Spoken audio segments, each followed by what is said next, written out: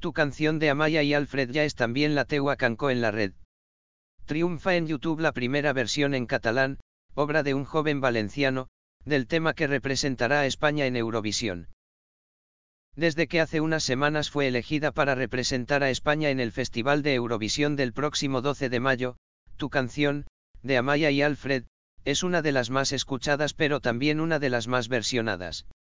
Decenas de aficionados y algunos profesionales se han lanzado a colgar su canción en YouTube, donde desde hace un mes triunfa también la primera versión en catalán. Su autor es Guillem Lizarde, un joven periodista valenciano, políglota y amante de la música. Juego mucho a ir traduciendo canciones que me gustan y ver cómo suenan en otros idiomas. Como soy fan de Operación Triunfo y de Eurovisión, son de esos placeres ocultos que todos tenemos, había oído muchas veces la canción y la fui traduciendo al valenciano. Un día la grabé y me dije ¿por qué no la subes a internet? No había ninguna y pensé que era una forma de normalidad lingüística. Le pregunté a mi madre y al principio me dijo que no pero luego se lo pensó y me animó, explica. Su versión va ya camino de las 8.000 visitas y ha empezado a regresar ya de las redes a la calle. Al principio, la verdad, pensé en quitarla pero empezaron a llegar comentarios muy positivos, gente que me decía que no podía parar de cantarla o un chico que me dijo que su profesora de valenciano la había puesto en clase incluso me paró una vecina. También ha habido gente que ha dicho que no le gusta, claro, y que porque no la hacía en castellano y ya está, señala.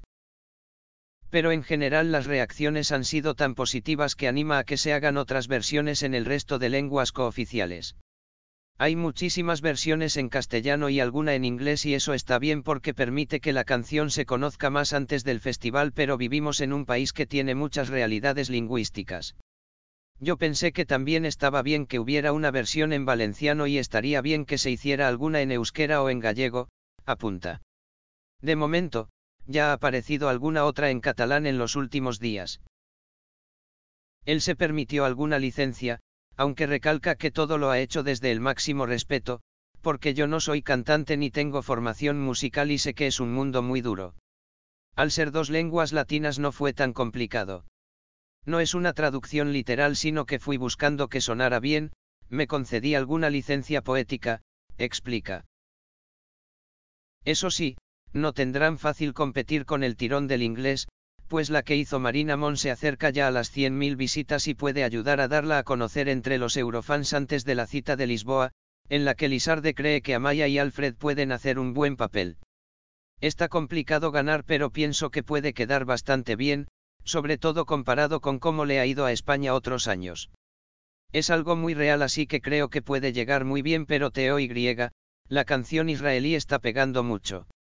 Igual se podría hacer una cover, se plantea entre risas. De 20 seguidores a 70.000 visitas. El impacto que ha tenido su versión de tu canción no ha pillado a este joven de Pinedo totalmente desprevenido porque unas semanas antes ya había comprobado el poder que tienen combinados Operación Triunfo y Eurovisión en las redes. Quedé con dos amigos del máster que estoy haciendo, uno chino y una brasileña, para comentar las canciones candidatas a Eurovisión. Les dije no os preocupéis que yo solo tengo 20 seguidores así que como mucho nos verán 20 personas pero tuvimos 14.000 visitas y el vídeo, que dura media hora, tiene más de 70.000 y a mis amigos les han parado por la calle, explica. Y cuenta entre risas como viendo el éxito intentaron sin éxito pero mucho humor hacer una versión en chino y en portugués de tu canción. Fue la anticover, admite.